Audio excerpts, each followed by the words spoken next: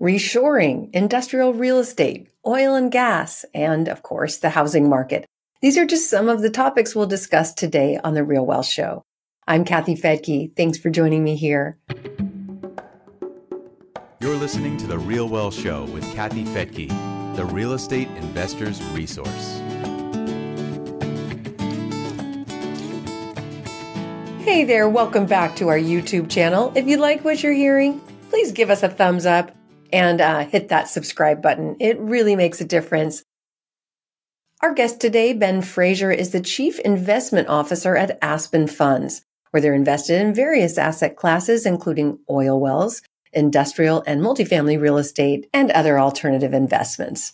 Prior to joining Aspen, Ben served as a commercial lender at First Business Bank and as a commercial underwriter at Cross First Bank. And he's here with us today on the Real Wealth Show to talk about economic trends that affect these kinds of alternative investments. Ben, welcome to the Real Wealth Show. Thanks for having me on. Looking forward to it. Yeah, so we have been on. Well, I was on a panel with your dad, not you, right? Was I ever on a, on a panel with you? No, I think it was yeah, my dad. Yep. Okay, and we we did the debate at the best ever, and you know, at that conference they just sort of give you a topic and you have to argue it whether you believe right. it or not. Pick which side you're on. so your dad's like, "Oh boy, I'm gonna have a tough one on this," but uh, you guys are you have a family owned company, is that right? Yeah. So we actually have four partners. Um, my dad and I are two of the partners. So okay. it's family plus. okay. And you you're mostly invested in industrial and oil and gas and what are your other asset classes? Yeah, we have a we have a variety. So we have a lot of real estate. So we have a lot of uh, holdings in multifamily, um, storage, retail, but industrial is probably our biggest um, real estate vertical that we're uh, most bullish on right now. And then we we actually are, are where we started over 11 years ago was in credit uh, uh, deals. So we started a mortgage note fund uh, coming out of the the GFC um, about 11 years ago, and we also have kind of commercial credit, uh, preferred equity type funds as well. So um, yeah, and oil and gas investing is another vertical for us. So kind of a little bit of everything. Yeah. So when people talk about real estate and oftentimes in the headlines, they just lump it together like all real estate this is the same and that it couldn't be more opposite. Different asset classes in real estate perform differently during different market cycles, right? Absolutely. Yeah, I think you're you're spot on there. You know, you see the headlines of, "Oh, real estate values are down 30%." And it's uh, it it's annoying because it's you know what what are you measuring you know there's there's yeah. one not one real estate market there's you know hundreds of real estate markets right and are you looking at you know which part of the country and which submarkets are you uh, bringing into that? Because they all perform differently right? They have different drivers of of uh, what's you know growing or you know not growing in different areas. And then you have different asset classes. So when when people say you know real estate's commercial real estate is not doing well or it's you know headed for some pretty big uh, you know challenges most people are referring to office right? And so office is um, a very very large real estate asset class i believe it's the largest or the second largest of any commercial real estate and it's pretty obvious. Most people understand why it's uh, struggling because you know in this kind of post-COVID world, and uh, the work from home, the hybrid workforce uh, is really shifting the uh, the fundamental demand drivers of that asset class. And so, yeah, that is a challenge. But other asset classes, it's a very different story, right? There's some some bumps in different markets for multifamily, but we're actually seeing the opposite in the Midwest. I'm here in Kansas City, and in Kansas City, we're actually expecting six percent rent growth in 2024, right? and so that's that's not you know dropping uh, you know rent deceleration. Um, and then yeah, industrial is completely different set of demand drivers, and the reason we're bullish on that is um, the reshoring initiatives that have been happening over the past several years of bringing manufacturing back to the U.S., of uh, rebuilding supply chains to be less dependent on overseas um, uh, supply chains. And so there's other things that are you know driving demand and fundamentals in every asset class. Yeah. So, bottom line, be careful when you see headlines that say real estate's in trouble or, you know, values are down 60% or whatever they say, these dramatic headlines, because they may be just referring to office, which is true. That's a very challenged uh, asset class right now. Um, so, when you say that there's this reshoring happening, we learned a lot over COVID, right? That we probably shouldn't be so dependent on other countries for the really important things that we need. Where are some of the areas in the country where that's happening the most? Yeah, absolutely. It's it's something that uh, was already kind of starting to happen pre-COVID, but COVID accelerated all these things like it did in yeah. a lot of areas right like the work from home with office like that was kind of starting to happen and then boom it just you know accelerated that by a decade or so it's very similar because what happened and and really when i was in school and business school and um, you know, you're learning all about globalization. You're learning about just-in-time inventory systems, and the idea is, you know, as we become a more interconnected globe, and we can outsource manufacturing um, to you know cheaper parts of the of the world that have cheaper labor. Um, we can create efficiencies. We can create lower costs for consumers, and then we can create these supply chains that you know you press a button on Amazon and you know, it gets notified someone in China and then they, you know, are shipping all these things um, across the US and it goes through, you know, maybe 10 or 15 points of uh, the supply chain to get to your door. Right. And so we we've we've globalized in a lot of ways, but what's really happened, I think what COVID exposed was in a lot of ways we over globalized. There became an over reliance on um, these supply chains to where we just took for granted that when we push that button, it shows up. Well, we all felt the impact of when you push the button and we all get the emails of, hey, due to supply chain issues, this is being delayed. Right. Mm-hmm. We saw that over and over and over again. So what's happened is it's really caused the whole industry to reevaluate um, how they want to, uh, one, deal with inventory. Because the idea was if we have inventory held overseas, um, then it's cheaper over there and we can just get it whenever we need it. But what if there's trade restrictions? What if there's, you know, you know, COVID is impacting how things move and, and how quickly they move. Um, and so, you know, example of this is Ford, uh, the manufacturing company, uh, auto manufacturer. They were building their trucks uh, during COVID, and there was a huge demand because everyone's getting the stimulus money and they all want to go get the brand new truck. Well, they had at one point uh, over $3 billion of inventory sitting on lots that they could not sell because they didn't have the computer chips to actually make the whole car work. And wow. you know these small com- uh, computer chips from a you know they're very critical. And from the overall cost of manufacturing, it's a very very small cost, but it's so important to actually delivering a, a usable end product. And so that's a case across the board where a lot of these manufacturers are thinking, hey, maybe it's a little more expensive to uh, have more inventory in the US or actually bring the manufacturing of that component back to the US. But it's so important in the delivery of my completed end product that I, I, I'd rather pay a little bit more to have the insurance against a broken supply chain.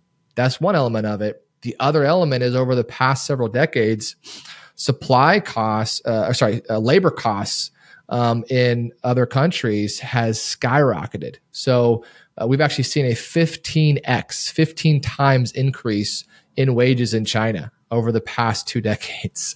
Wow. So there's been a massive inflationary uh, impact on wages. And so it's if you take into account wages, shipping, logistics, tariffs, et cetera, et cetera, et cetera, it's actually not that much more expensive to, to manufacture in the US for even non critical components, right? And so there's a lot of what's called reshoring, nearshoring. So going to uh, Mexico, there's a lot of activity going to Mexico. And so to your your end question of you know where is this kind of happening? What's uh, how is it impacting the U.S. markets? um, it's it's shifted a lot away from the coast. And the coasts are still active, right? But those are generally from the international trade. But there's been a lot happening with Mexico, um, and then also the distribution networks in kind of the kind of heartland where you know we're here in the Midwest. um, uh, distribution is a big, big deal, and so a lot of um, a lot of these companies are making decisions.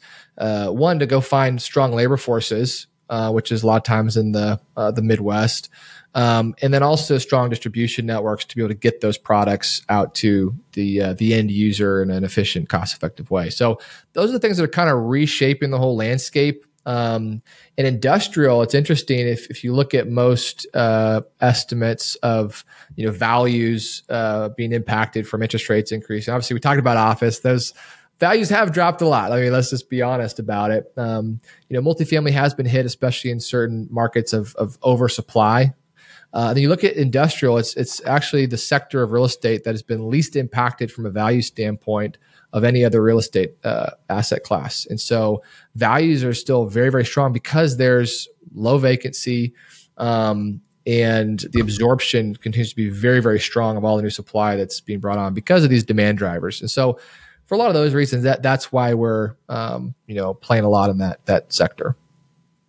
Yeah. Okay. And and specifically, so are you saying the the areas of America that border Mexico would be um, growing at this time, or yeah, there definitely, yeah. yeah. a lot of those uh, kind of Southwest states and areas. Um, kind of Southwest Texas is on fire right now. So, you know, th- those are a lot of kind of gateway markets uh, that trade a lot with Mexico and come across. But it's it's also just beyond that as well, right? There's mm-hmm. uh, what we're looking for is really undersupplied markets with strong labor forces because that's really what's driving a lot of the decision making of these yeah. companies. Absolutely. That's what that's what we look for too, but more in the residential sector. But right. it, it all works together, right? If there's jobs coming to a certain area, you're going to need storage. You're going to need industrial. You're going to need some multifamily and and uh, one to four unit. So paying attention to where this growth is happening is the key to being successful, really, in any business. Um, we I just got back from San Antonio and was kind of curious what's driving their growth, and and they did say a lot of what you just said. Yeah. So we're, we're very bullish. San Antonio there. is a hot market for this. Absolutely. Yeah. Yeah, um, that with a wasn't there going to be a freeway built or something that connected Mexico to uh, Canada that would go right through where you are? Did that ever happen? Yeah, I don't think that ever happened. I think it was a okay. railway. I think that got kiboshed uh, with the okay. current, um, uh, yeah, administration. But it's it's something that I think could be very beneficial. So hopefully, at some point, it gets it gets passed. Yeah. Okay. All right. So um, you and your dad are very focused on seeing the uh, the big picture, right? Where the economy is headed because again, this plays such a big part in whatever you're investing in. Mm-hmm. Uh, what are you seeing over the next couple of years? You know, if we were to really pull back, because you're a fund manager, I'm a fund manager, you can't think about just tomorrow or what's mm-hmm. going to happen the end of this year. You have to think about what's going to happen in five years or 10 years. And that's a big guess, right? You just, we just don't know. But uh, what are you seeing big picture? Yeah, well, you you hit the nail on the head, and I think as investors, it's it's so important to be what I call macro aware. At least, and if you don't have to be an economist, but it's really important to understand what time we're in right now and what's going to work right now, right? And so our kind of tagline as a company is macro driven alternative investments because for us everything starts at the top first of understanding what's the big picture and then where are the opportunities that that big picture is going to create and then how do we identify the opportunities that are going to benefit from those those long-term trends in place and you know we we intuitively understand this as investors that things go in cycles right? And um, it's there's better times than others to be invested in certain areas at different times right? And you know investing in uh, single family real estate in you know 2007 you know, not the best time, but investing in single family real estate in 2010, 11, 12, and beyond, like really good time to be investing in single real estate. Um, you know, it's just a matter of, of a couple of years. You know, you, yeah. if you timed it right, you either lost money. If you timed it right, you made a ton of money. If you timed it wrong, you lost it. And that was just in a couple of years' time.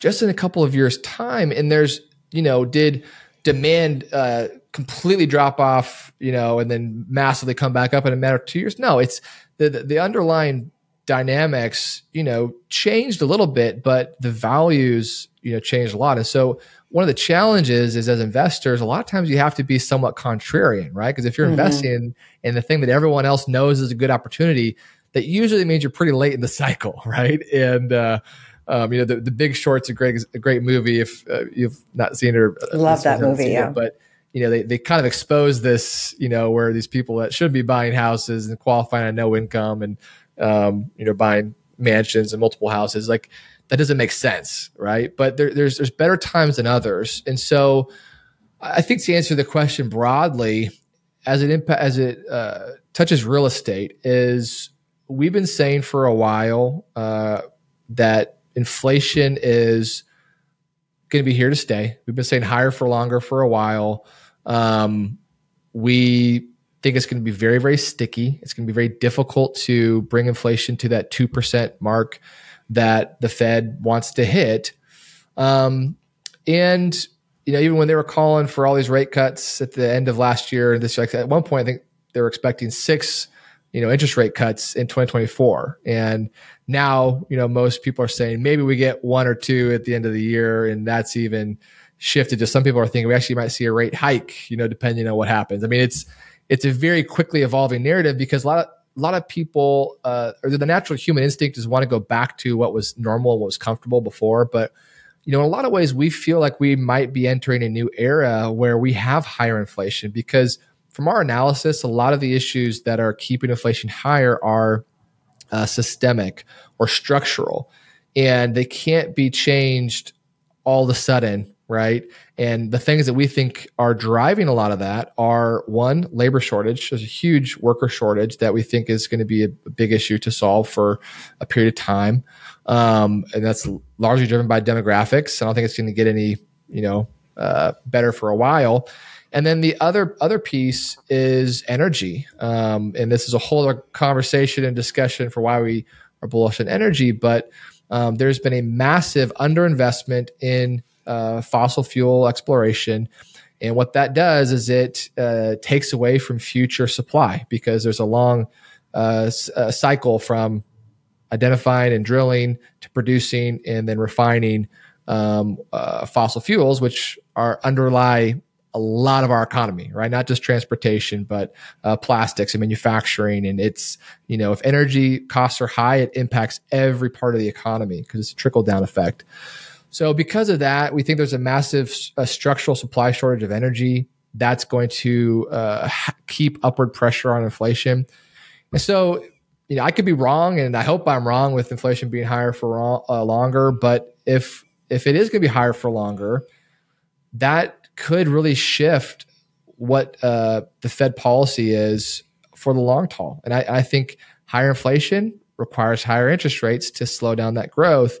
And that's what we've seen but a lot of people are expecting that just to go back to normal. Let's go back to that, you know, three, four percent money. I don't I don't think that's the case, at least not any time in the short term. So from our perspective, we want to we want to build in the assumption that interest rates will be higher for longer. And we want to make strategic decisions, one on all the assets that we currently are managing and managing through the cycle, but also on new acquisitions of what are our our assumptions on you know a refinance or a sale um, when we exit, and are we assuming the interest rates are going to be the same or even higher um, than they are right now? And I think um, that creates some conservatism, creates some buffer, but also I think there's a strong case to be made that that, that is the case. So no one likes to hear interest rates will be higher for longer, but I will say the caveat to that, and actually the reason that I'm actually very excited about real estate is the reason that interest rates would be higher for longer is if inflation is higher for longer. And if inflation is higher for longer, if you own real estate, that's a really, really good thing, especially in housing like, like you're in, because uh, real estate and especially housing um, is highly correlated to inflation. And so if inflation continues to be higher over time, on average, you know income should be increasing and growing on those assets over time as well and so even though maybe our debt service coverage is uh, more expensive. Maybe our exit cap rates are a little bit higher because higher interest rates. If you can hold your assets, you can grow, grow through and effectively operate and manage assets over the next couple of years. As we come through kind of this cycle, uh, I think we're going to see those that were able to do that rewarded with um, higher income than they even anticipated uh, a couple years ago, and consequently higher values, even if cap rates are uh, a little bit uh, suppressed.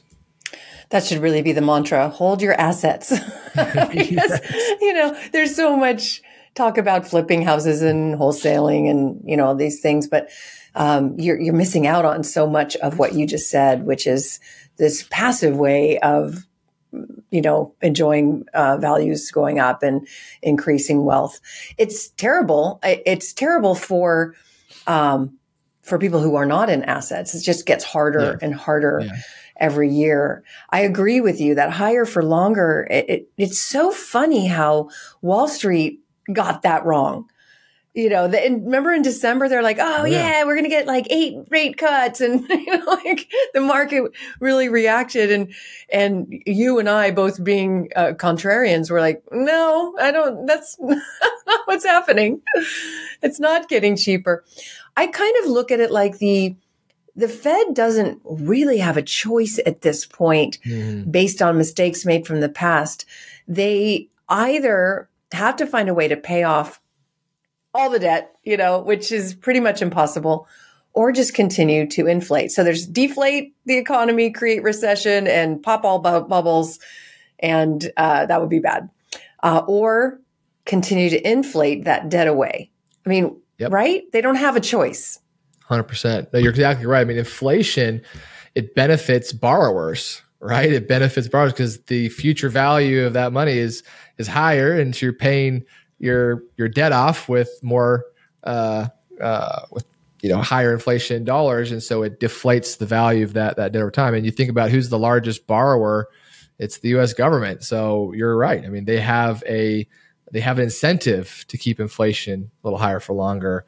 You know, I think the the, the big question mark is can they keep selling um, uh, you know, financing the deficits and selling bonds to the market. And there's obviously been a lot of softness recently on on those auctions, and so that that creates some other headwinds, right? Of how do they continue to finance these these large deficits, and um, that that I think still remains to be seen of what happens there. Yeah, yeah. So I'm with you. I think we're both out there trying to warn people that you know if you don't get on the boat you're going to be left behind. And it, it's terrible. It is creating a, di- a divide of the haves and the have nots and there's not much we can do about it uh, at this point i think. Yeah. Yeah. Yeah. It's, it's important to understand and, and to get on the right side of the inflation uh the inflation curve here. Yeah. All right um any I I know you guys aren't really investing in oil and gas right now, right? You you've had funds in the past. Why is that? Uh, why don't we have the fund right now? I mean, we're we're just actively deploying, so we're actually actively buying. But we raised all our money earlier uh, this year, and so okay, uh, so it's not because oil and gas is not a good investment. It's just that you. No, I, I think it's okay. an incredible incredible investment. So I hope we can get this fund deployed asap, so we can go do another one because it's it's I think a generational buying opportunity right now. Um, not to get too much in the weeds, but we just bought an acquisition uh, uh, last week, and we purchased. These are producing wells, so these are these are large wells, horizontal wells. So they're operated by by large major operating companies. A lot of them are publicly traded. We we bought these off of uh, someone that needed the cash for something else, and they were willing to give us a sweet deal we bought it at a 30% cap rate based on current price. Oh my, wow. 30%. and so that means unlevered cash on cash is 30% on producing wells. So we're not taking any drilling risk and we're collecting, you know, the tax benefits on that on that cash flow. Um, and it's, you know, proven uh, production. So it's it's from our standpoint, it's an incredible time to be buying because there's the, a lot of the capital in the market has left because of ESG. Yeah, right. Uh, because of a lot of these um, kind of governance standards that are being imposed on large capital allocators. They have to hit certain green energy scores, and you know it's it's all well and good to a certain extent, but they are uh, they're disincentivizing uh, capital allocating to fossil fuels, but all the the the goals and the benchmarks to hit a transition to a fully green economy are completely unrealistic in the timeframes that they're setting. And so, uh, in a lot of ways, we believe we're shooting ourselves in a foot where in the foot where we're going to have um, a huge supply issue uh, down the road because um, uh, we're not investing right now to make you know make it through that transition period. So, a supply issue as in lack of lack, lack of. Lack of like yeah. I mentioned earlier, it's very difficult to flip a switch and all of a sudden just turn on more production right. of oil, right, and gas because it's a long cycle of uh, exploration, uh, capital formation, development, drilling, uh, transportation, and re- refining down to the end consumer, and that's a multi-year. A very expensive process, mm-hmm. and uh, no one's drilling right now, uh, at least in a, in a broad way, right? In a, yeah. In a, compared to the past because of these disincentives. And so um, we're uh, we're going we're going to we're going to see that, and we think it might be the early innings of an energy crisis in the U.S. over the next decade or so. So you're saying we should hold on to our land in North Dakota? yes. Okay. Yeah. yeah. We bought it the wrong time, but you know our mantra has been hold, hold, hold because it will come back, and uh, yeah, I I see that too. Uh, okay. Now, one thing I know this is, you know, we're, we're over time, but I just want to ask because someone pitched me on the oil and gas opportunity about a month ago when I was at another conference and kind of explained that you could buy these wells that uh, don't have a lot of life left, but, you know, so the, the bigger groups are, you know, liquidating them, but they do run out at some point. Mm-hmm. And I just thought that's interesting. You know, so what happens if you buy the well, it runs out, I guess you're out of luck. Not you're much out of luck. Yeah. Yeah. I mean, this honestly should be a whole other conversation because there's a lot of uh, things that you need to be aware of. If you're going to invest in oil and gas, you need to you need to know what you're doing. What you're investing and know what you're doing and work with people who have good track records because it is a easy way to light money on fire not not to mention there's Ponzi schemes and things out there. Oh yeah. There's a huge one that just kind of went through the you know private equity market. They raised quarter of a billion dollars. It was more of a, of a tech play that you know captured. Um, oh, the capture one, the carbon capture. So it wasn't Car- a true. Yeah, that was a that was a big Ponzi. Yeah. Big Ponzi. Um, but no, but even in even in just actual legit opportunities, there's a lot of risk depending on where you're going and, and kind of sticking the fork in the in uh, the, the deal here. And if you're going like drilling, drilling is very risky. You know, there's infill drilling, which can be um, you know, in a well-developed uh, geology, you know, it can be lower risk, but there's still a lot of uh, capex risk. Um, uh, it's very difficult to get the labor to drill right now, the equipment to drill. And then yeah, old, old wells, vertical wells that have are you know long in the tooth. Um, you know, we own some of those assets, and it's not terrible, but it's it's you know it's always overpromised, always exaggerated on you know what they think they can do, what they'll pull out, and it's um, uh, at a, at a certain point, like you said, there's at a certain point some of these wells become uneconomical. They may still be producing, but the cost to get the oil actually isn't worth it to keep operating it, right? And so um, you know, you just you got to be careful when you're when you're doing that because it's uh, it's it's a very in a lot of ways archaic industry still. A lot of the technology and the and the vertical wells are still very much the same over the past 50 years and so it's very mechanical it's all about the geology um, and you know on those types of wells i think it's uh, from what i've seen it's generally less production and more expensive to pull it out, and that obviously eats into potential returns. Um, and then just a broader broader commentary. You're exactly right in that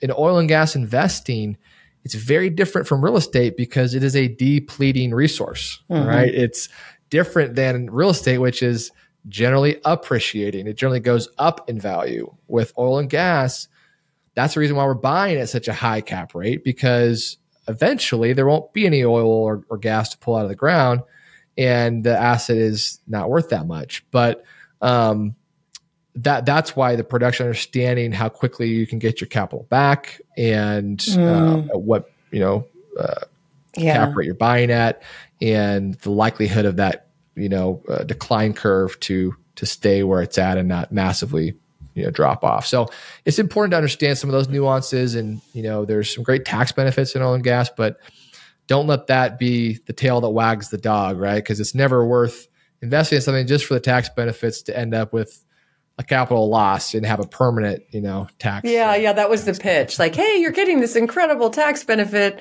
uh, even though the thing's not going to be worth much in in a few years. And I just thought, you know, I can get a great tax benefit in real estate, and the thing is worth more in a few years. So I didn't right, get it. Right. anyway, all right, Ben. Well, it's been so great to have you here on the Real Wealth Show. uh, To have you back and talk more about these things because I know that investors get pitched on it all the time and need to need to understand it better.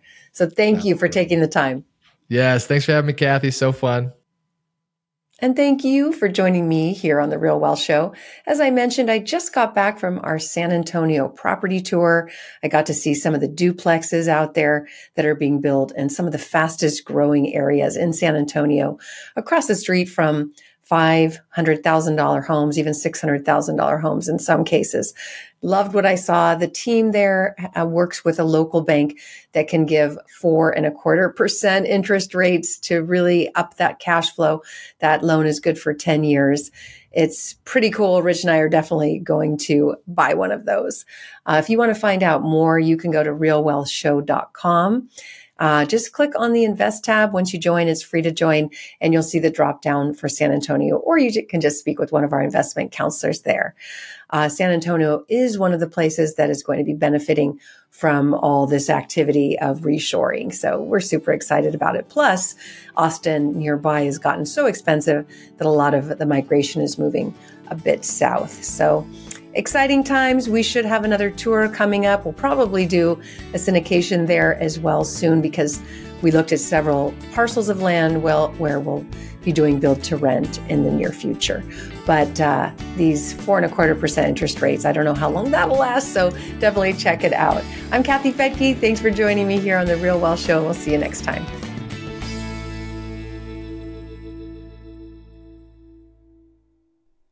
Views and opinions expressed in this podcast are provided for informational purposes only and should not be construed as an offer to buy or sell any securities or to make or consider any investment or course of action.